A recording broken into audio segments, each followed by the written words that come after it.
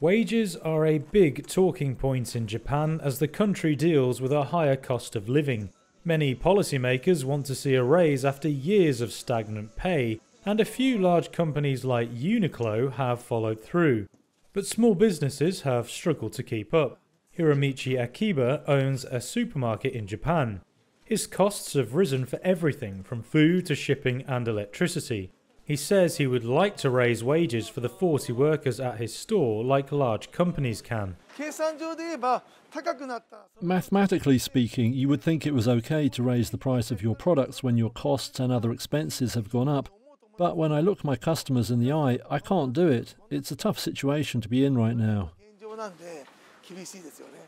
Steep price rises on surging raw material costs have squeezed Japan's workers. That after years of deflation and minimal rises. Akiba has tried to cut costs by measures such as switching off some lights, but he says he still can't afford to raise wages. Composer Yoko Yamada is among his customers.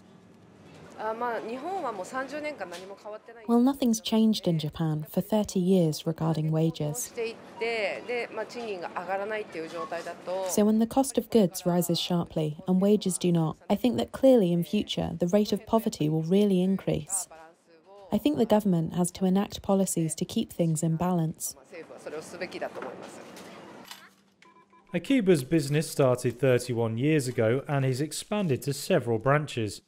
If inflation and price rises keep rising, the coming year may only get tougher for him and his customers.